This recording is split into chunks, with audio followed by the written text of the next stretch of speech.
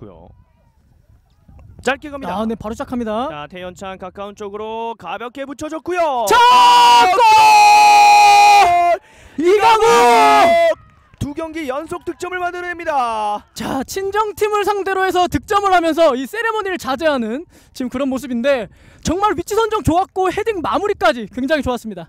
야 태연찬의 크로스가 이 시점에서 먹히네요. 와 완벽한 헤더였습니다. 자, 이강욱 선수